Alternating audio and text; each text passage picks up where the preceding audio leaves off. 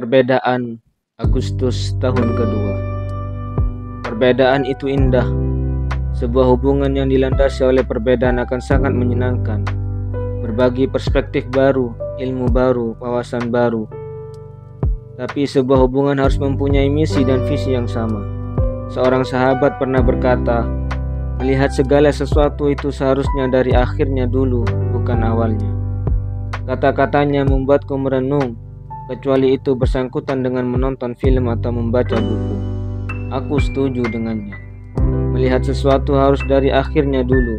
Sebuah hubungan yang tidak akan berakhiran baik dan tetap dijalani hanya akan menyakiti satu sama lain. Kata-kata semacam jalani saja dulu. Tidak sepatutnya dijadikan landasan untuk mengawali sebuah hubungan.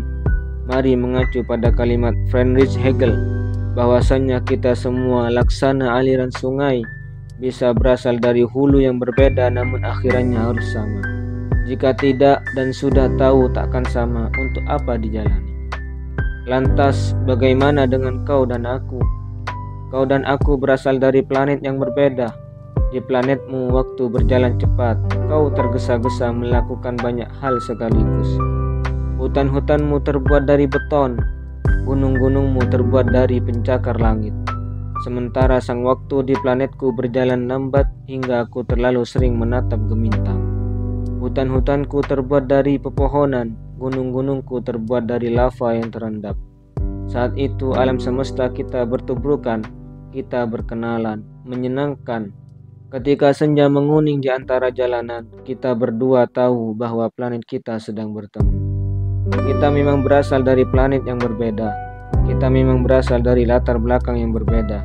Kita memang berasal dari kebiasaan yang berbeda. Namun, detik di mana kelingking kita saling terkait, maka kita saling menatap dan jantung kita seirama. Aku tahu masa depan kita sama. Tanpa memedulikan planet kita yang berbeda, mimpi kita sama selama kau dan aku bisa memperjuangkan apa yang kita berdua rasakan. Sesulit apa pun itu, aku yakin akan ada jalannya.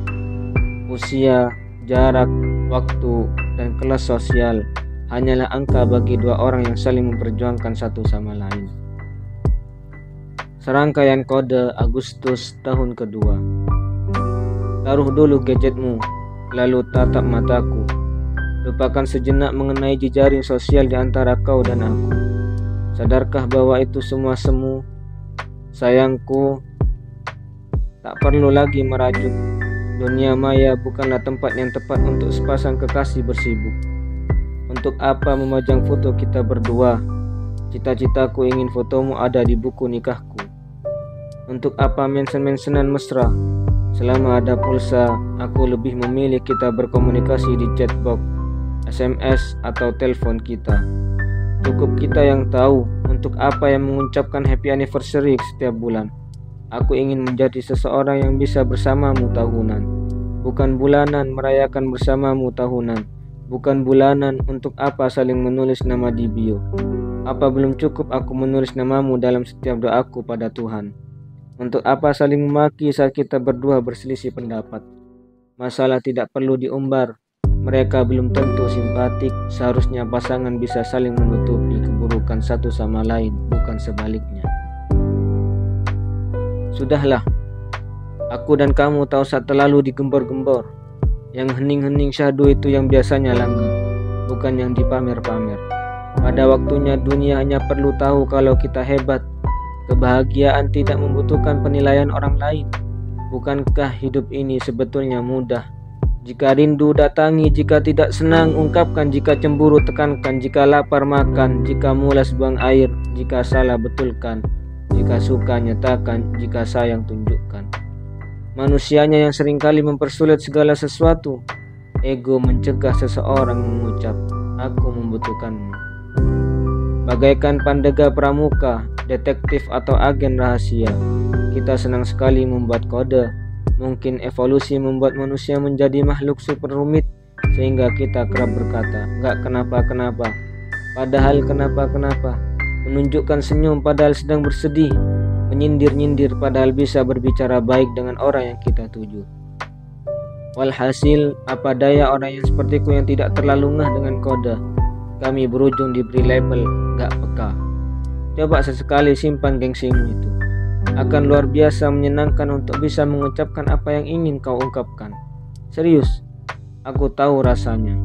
Taruh dulu gadgetmu, lalu tatap mataku. Sebuah dialog akan lebih mendewasakan dibandingkan permainan kode.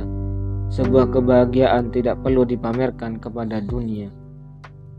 Sesuatu yang tertinggal September tahun kedua. Mencari teman hidup bukan menyoal tampang, harta apalagi gelar, tapi tentang seseorang yang mau duduk bersamamu sampai rambut memutih dan raga tak mampu lagi berbuat banyak. Sayangnya kita sering kali terdestori, kita lupa bahwa sebenarnya berkomitmen itu tentang komunikasi. Bicara mengenai komitmen, aku pernah takut dengan komitmen. Aku takut dengan kata menikah, takut dengan ikatan monogami seia sekata sehidup semati, tapi ketika rasa takut mendera, ku pejamkan mata, ku bayangkan kita tinggal di rumah kayu sisi pantai dengan aroma laut memenuhi udara. Hidup kita sederhana tanpa perlu disibukkan urusan dunia maya. Tanpa harus terbawa arus modernisasi, aku bisa menjadi nelayan dan kau bisa menjadi guru jika kau mau. Di penghujung hari, kita terduduk bersama di dermaga dengan senyum di wajah kita. Hingga tua, hingga salah satu dari kita dipanggil olehnya. Tampaknya berkomitmen itu bagus juga. Jatuh cinta adalah anugerah, walau perjalanannya tidak selalu indah. Lantas, apa itu cinta? Kau pernah bertanya soal itu, dan aku yang sok tahu ini berusaha terlihat pintar di hadapanmu. Cinta adalah reaksi kimia, sebuah efek yang ditimbulkan oleh feromon, endorfin, dan sorotin yang kelak mungkin saja menghilang. Ya, cinta bisa menghilang. Lantas kenapa kakek dan nenek kita bisa bertahan hidup berdua sampai mereka meninggal? Karena saat cinta menghilang, mereka punya sesuatu yang disebut kasih sayang, keterbiasaan, empati, dan tentu saja komunikasi. Jadi, untukmu, calon pendampingku kelak, aku tidak tahu sampai kapan aku bisa jatuh cinta padamu, tapi aku jamin Aku akan jadi orang yang terbangun di sebelahmu dan mengatakan, hidup akan baik-baik saja selama kita memilih kita. Karena aku menyayangimu tanpa karena. Rencana indah September tahun kedua. Aku ingin mendampingmu ketika flu membuat hidungmu memerah. Aku juga akan mendampingmu ketika sehat membuatmu kembali barulah Aku akan mendampingmu sewaktu kau sedih dan penuh amarah. Aku juga akan mendampingmu sewaktu kau bahagia dengan senyum merekah. Aku akan mendampingmu saat kau sibuk dengan tugas kuliah. Aku juga akan mendampingmu saat kau diwisuda dengan pikiran penuh falsafah. Aku akan mendampingmu ketika lamaran kerjamu ditolak hingga lagi-lagi kau resah. Aku juga akan mendampingmu ketika kau stres karena pekerjaanmu terasa susah. Aku akan mendampingmu sewaktu kau merasa tak berguna dan kalah. Aku juga akan mendampingmu sewaktu kau merasa menang hingga kesombonganmu parah. Aku akan mendampingmu saat kita menabung untuk masa depan dengan susah payah.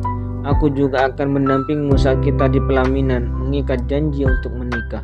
Aku akan mendampingmu ketika sembilan bulan kita dipenuhi resah. Aku juga akan mendampingmu ketika kita menjadi bunda dan ayah. Aku akan mendampingmu hingga raga kita berdua renta dan lelah. Aku juga akan mendampingmu hingga napasku berakhir sudah. Karena sampai aku kembali menjadi tanah, menyayangimu tanpa pernah salah. Pertama, kau kenal orangnya. Lalu kau kenal sahabatnya. Lalu kau kenal keluarganya. Lalu kau menjadi bagian dari hidupnya. Indah.